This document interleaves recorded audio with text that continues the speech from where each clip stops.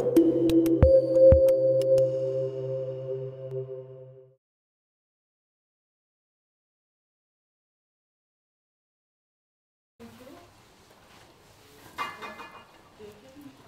my name is Roxana Angheluta. I'm uh, working at Xenit Solutions.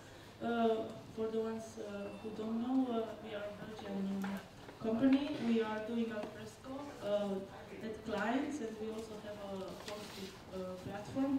So we are deploying a lot of instances of alfresco. Today I will talk about uh, our stack, which is Docker-based, and uh, our deployment method and uh, development in general. I put all the people contributing to this work. It's a, a big work in the last two years, so um, I want to acknowledge everybody.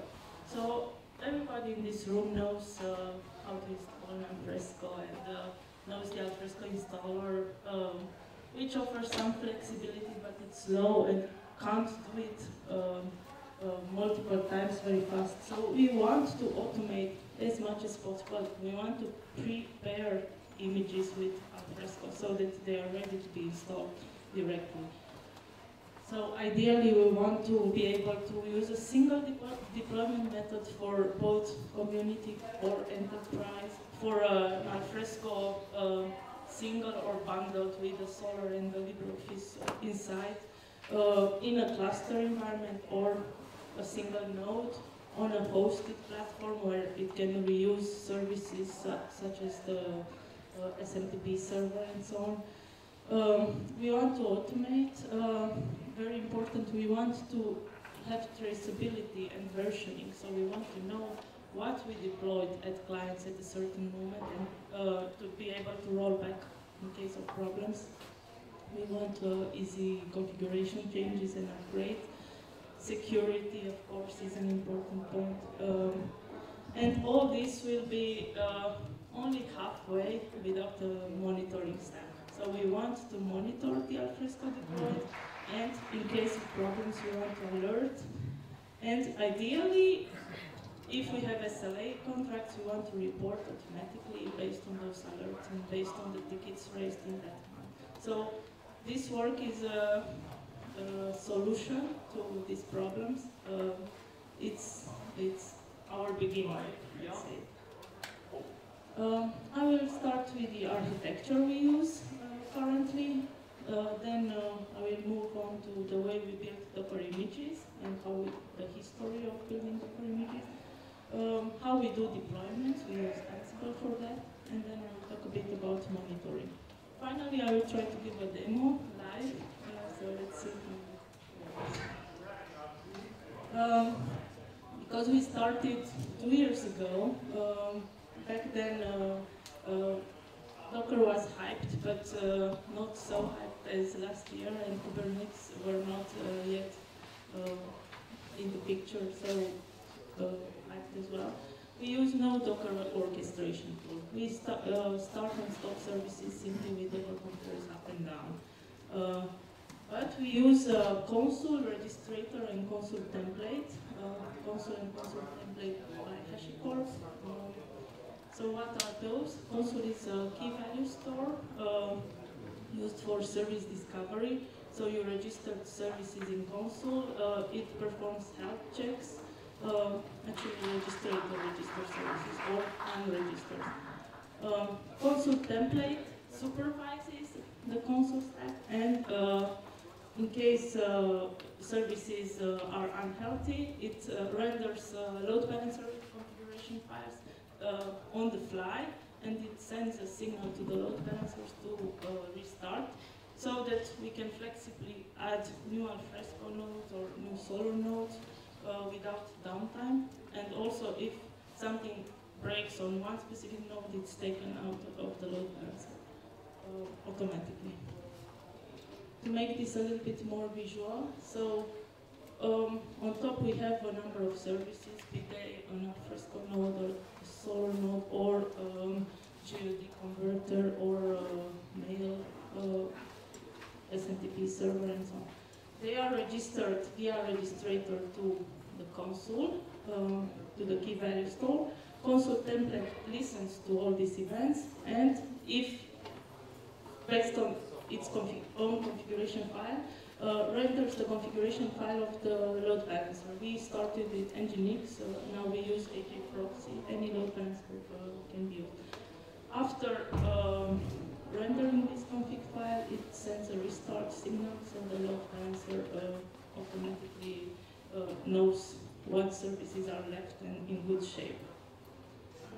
So we use this uh, architecture at clients, we deploy it at clients. This is a typical deployment. Um, the rectangles are uh, nodes. Uh, we have two alfresco, they are physical servers actually, or virtual servers. Uh, we have two nodes uh, with alfresco, two nodes with Solr. Um, the alfresco share database and the uh, content store.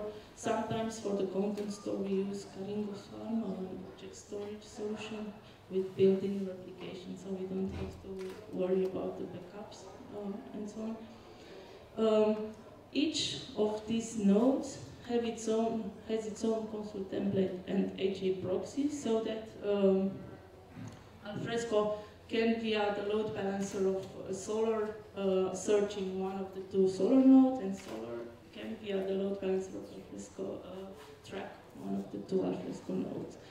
Finally, in front of everything, we also have a, a yeah, we have another proxy with its own template to face the user. All the services are registered in Consul, the registrator, that's our infra stack. Um, another deployment we have uh, only has two nodes in which Alfresco and Solr are, are on the same machine. Um, there is a, a, slight problem with that because uh, a Consul cluster needs at least three nodes to be uh, highly available, and an alfresco cluster needs only two. So um, we explained the client that there is a small risk if the one of the servers with Consul goes down, that uh, the Consul cluster gets in bad shape, and then the Consul template does not function properly anymore. And the client either takes the risk, it's a small risk, um, so yeah, as long as they are aware, it's okay either takes the risk or adds a new node uh, very small, just with a Consul agent on it. Usually it's the monitoring server or, or proxy server. Um, on our hosting platform, um, we use it a bit differently, so we have multiple alfrescos deployed on one single uh, machine, uh, small instances, um, and we reuse services at, such as uh, Postfix uh, via the Consul DNS. So Consul also has a DNS uh, incorporated, so we can uh, use names such as postfix.service.consul to access um, postfix. Um, for the rest, nothing special here. Uh, we have a, a Postgres database replicated that we use Swarm for the content store. Um, now I will move on a bit to the way we build Docker images. We started uh, with a simple Docker file in which we run the installer, so that would uh, that has some flexibility. You can choose which components to install, uh, because usually the database is managed by the client, so you don't need to install it. Uh, also, you might want to separate out uh, a transformation server uh, and Solr. Um, so by running the installer, we start from uh, Ubuntu, let's say, and uh, we have just one layer in which uh, we install everything. That produces images quite big, more than one gigabyte in size, and it's not really flexible, let's face it. So we moved towards a more layerized uh, way of uh, building the images. Um, in which uh, we can choose ourselves which version of Java, which version of Tomcat uh, we want. So we start from, a, let's say, Java 8, on which we have a, we install a Tomcat, that's the next layer. Uh, then we install a sort of a skeleton for Alfresco, which includes just uh, um, connectors to the database and an init script, which uh, based on environment variables will modify files, configuration files. So it can modify Alfresco global properties, it can modify the Tomcat server XML to uh, change ports or to add proxy parameters. It can also add Java opts for debugging or JMX um, um, monitoring. So that skeleton is, is uh, pretty generic for all the versions. And then on, on the next layer we install the wars. Uh, the wars we need with the amps we need. We start from the Alfresco official war files on top of which we install amps. Um, we usually in-house use dynamic extensions, so we install uh, that app and we use Apix, which is an uh, API uh, uh, to Alfresco, uh, so we install that as well. That's our enterprise work core. And then client-specific modules are installed in the next layer. Um, we try to follow the Docker principles uh, as much as possible. So one process per container, just give one responsibility to one container. Of course, in the case of a bundled Alfresco with Alfresco Solr and LibreOffice inside, that's not the case anymore. But uh, in the case of core Alfresco separated out from Solr and from LibreOffice, uh, we follow that principle. We have an init script to customize the image. Um, we strive to uh, make the images as small as possible. So especially for monitoring, uh, we use uh, images based on Alpine Linux um, as compact as possible. And uh, we want to make these containers as stateless as possible. So we separate out the data and the logs. Currently, we have uh, we have a private registry at Xenit, so currently we have a number of images, uh, some of which are mentioned here. Have images for Alfresco, for Solr, for JOD. We have also infra-specific images, a lot of monitoring. Uh, I will talk a bit uh, about that later. We have uh, inflow. Inflow is our uh, import tool. Um, so to uh, pump data to Alfresco. We have images for that, and we have database specific uh, things. We'll talk a bit about Postgres tomorrow.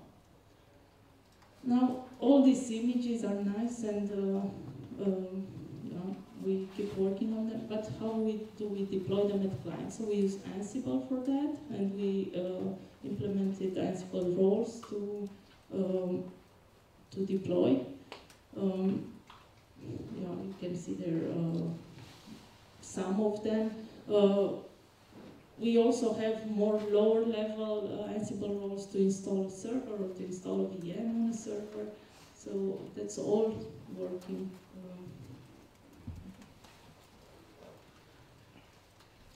Uh, how do we solve the problem of traceability? How do we know that? Uh, how do we know what we deployed at a certain moment and how how to go back. So each uh, role deployed, we keep roles and code in uh, Bitbucket or yeah. Each role deploy uh, receives a tag, so then a client deployment is a collection of uh, Ansible role tags and variables overwriting the default value from the roles. So we tag also a client deployment and we are at every moment we are able to uh, roll back if needed. Also the Docker images have tags, um, so we know at each point uh, where we are. Uh, there are a number of other concerns across roles. Um, yeah, uh, obviously security is uh, an important one.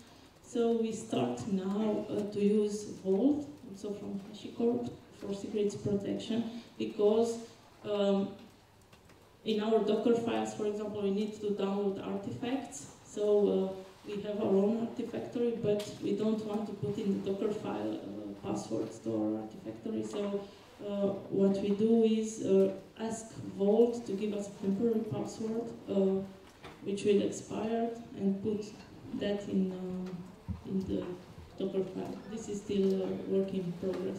Then both Docker and Consul have uh, used TLS authentication. Consul also accepts encryption.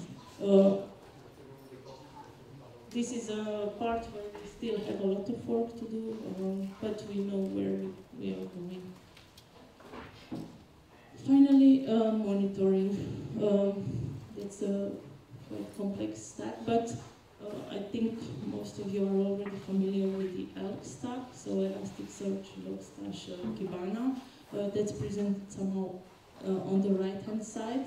So we collect uh, Docker logs, which are actually Alfresco logs, Solr logs, and uh, all the other containers, via Logspout. Um, and then we send them to Logstash and further to the Elastic. Uh, that's for logging. For numerical data, we use uh, Grafana, Carbon, and then Graphite API Grafana.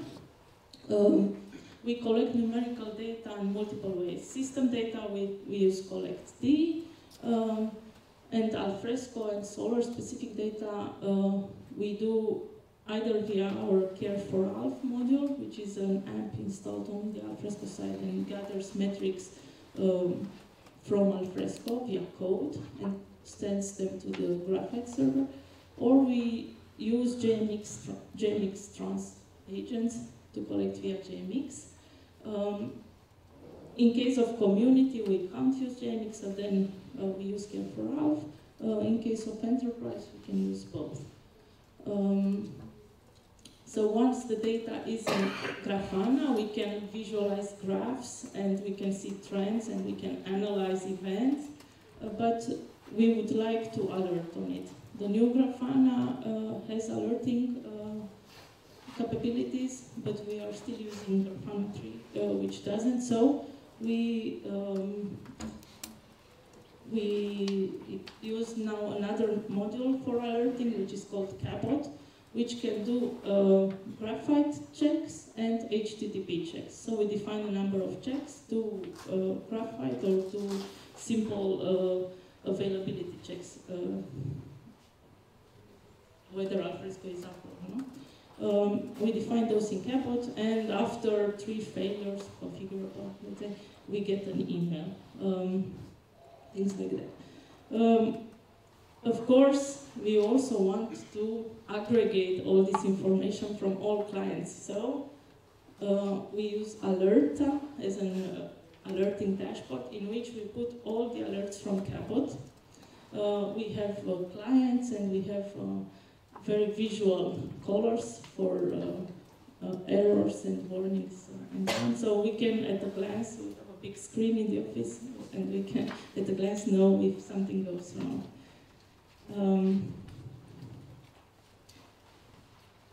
yeah, and we are now in the process of automating SLA reporting uh, based on the Cabot availability checks, Grafana and Kibana panels, and Jira tickets worked in a certain period of time. Uh, yeah, some technical thing we use markdown templates which were converted to PDF.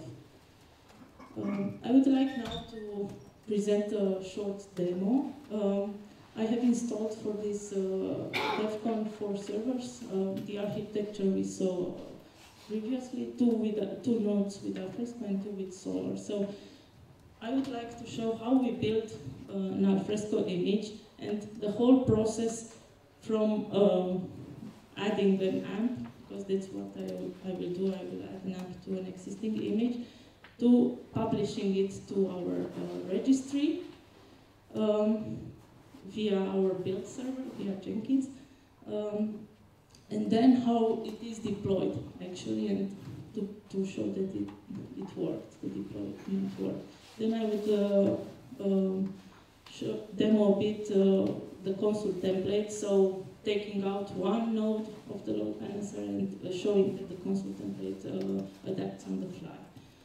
Um, and um, yeah, if time allows, uh, we will see also an alert on the alerta.xenit.eu that uh, one of the nodes uh, from the Alfresco cluster is down. Um, we use Gradle to um, build images. So we have uh, for each client or for demo we have uh, a build a Gradle file. Um,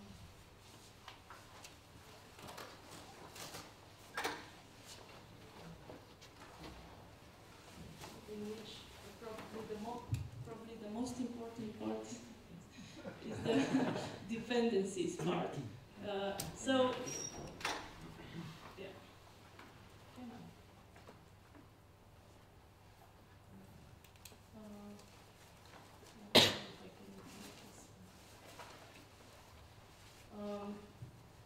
So the breaker plugin has uh, tasks to uh, apply amps on a specific WAR, to um, build a Docker image based on a Docker file, to label it and to push it.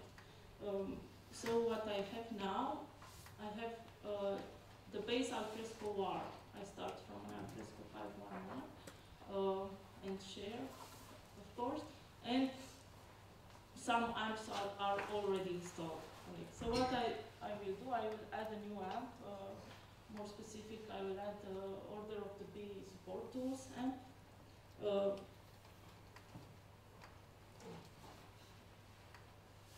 so I've already prepared, um, I will copy the build Gradle in the build Gradle. And then I will push it to uh, Bitbucket.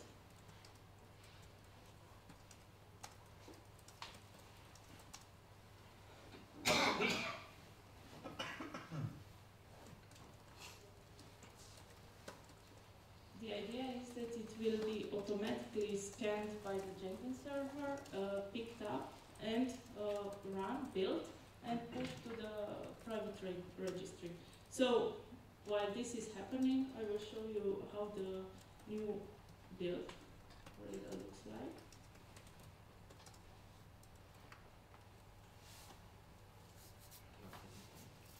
Hmm? Oh, sorry.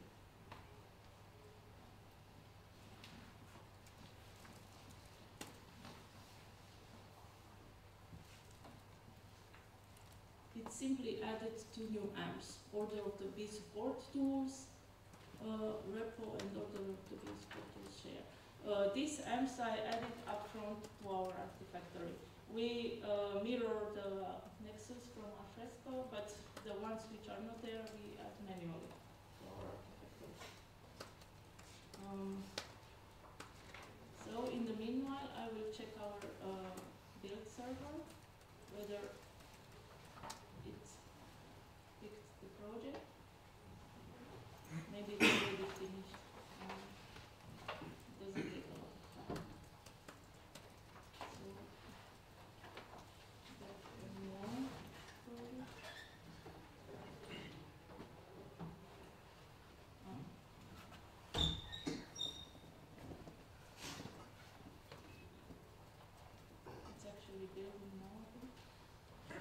January 17th, so it finished building.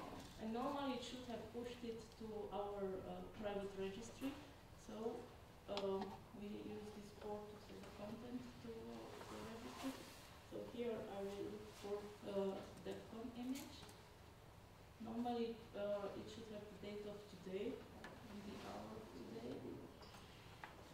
Uh, the latest one. I don't yeah, it's correct. So what it did, what at this moment we have uh, an image, an alfresco image, which has uh, Order of the Bee support tools inside. So we want to deploy it. Um, so I will go to the Ansible server. Um, the nice thing with Ansible is that you can set the Ansible server at anywhere, at the client or locally. The, the only thing you need is SSH access there. So uh, now I, I set it on the same um, machine with the virtual machines of the demo to a bit. So where do I add it? In the variable used um, used for the alpha streaming. Now this is not an Ansible uh, tutorial or something, so uh, if you're not familiar, it's probably difficult. Yes. Um, I will um, change the image to be the new one. Um,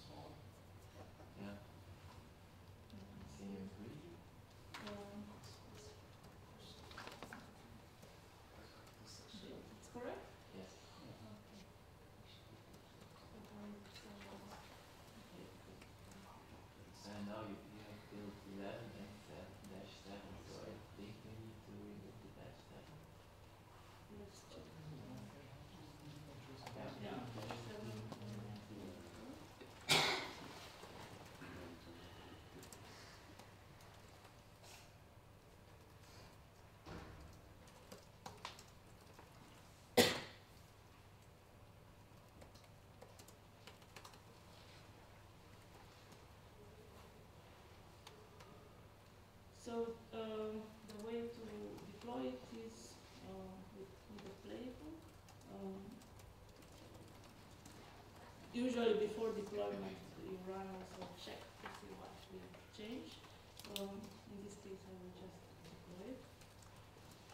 Uh, in the meanwhile, I'll go to the Alfresco server and show you what what is there at this moment. So if I grab image into the Docker Compose file um, for Alfresco, I see it's already using 11. Oh, okay, so it was already deployed. It was too fast. I, I wanted to show you that uh, it was 7, but it finished. So what I have to do now, I will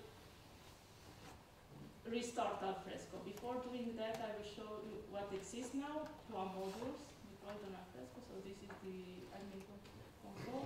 There is no Order of the Bee yet. After restarting, uh, we should have an Order of the Bee.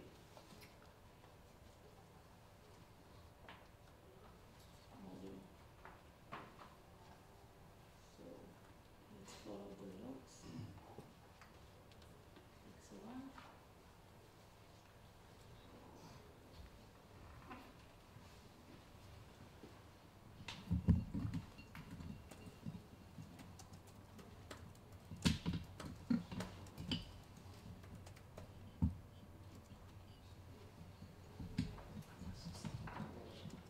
Just okay, but uh, it's working. So after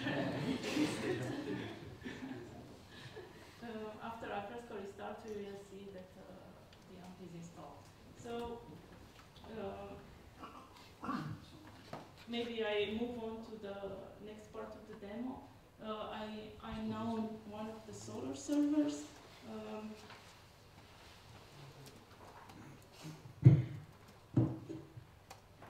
So I will show the current configuration of the load balancer. Uh, yeah, it's already changed because we restarted, it adapted, and it now has only one node in there. Once Alfresco starts on the first node, we will have here two lines. Um,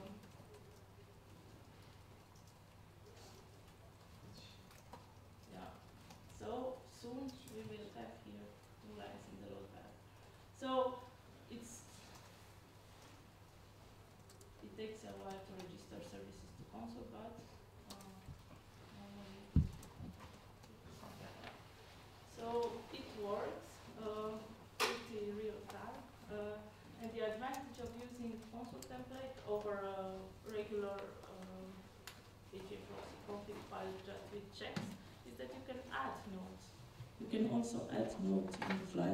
So not only that broken nodes disappear or they are not load balanced anymore, but you can add uh, new stuff. Um, I also wanted to show you that if I stop one of the nodes, we will get an alert on alert. Uh, I think there is no no time for that, but uh, it's just uh, yeah, you can imagine you get a red line. You know. So thank you for attention.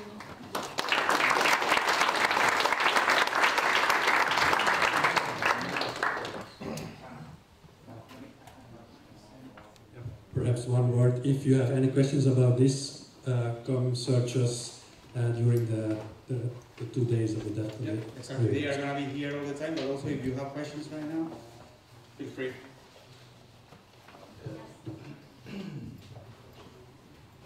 Did- Did you guys look into uh, Ansible Tower or the open source thing they now use for the Ansible deployment, Uh, automated no. and all that stuff? Maybe.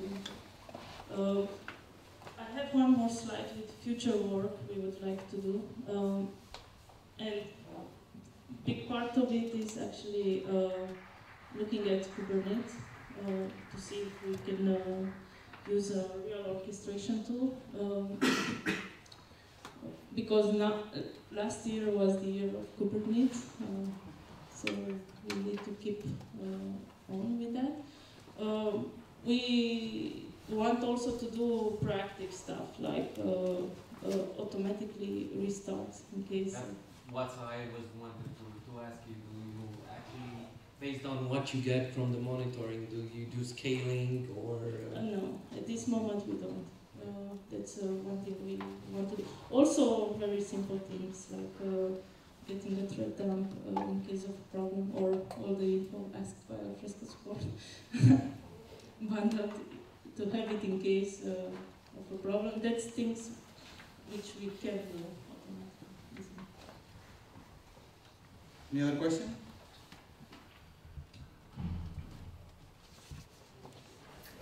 Okay, thank you. Thank, thank you. you.